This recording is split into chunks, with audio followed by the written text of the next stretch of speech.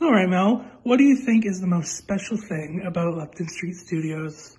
I think one of the things that I really think is precious about this uh, this place is the community-oriented uh, program and, and, and, and, attitude. You know, it's it's it's about uh, the people around here. It's about being uh, available and close and creating relationships uh, with not just the students, but you know, with the families and and the businesses in town, and creating uh, like you know, mix and matching people together, and uh, you know, that's what I think is really important. It's about building community, and even throughout what we've been going through the last couple of years, you know, to have people who are still thinking in that way and trying to to bring that uh, relationship based type of thing is, is really important. I really appreciate that in Debbie and, and the studio.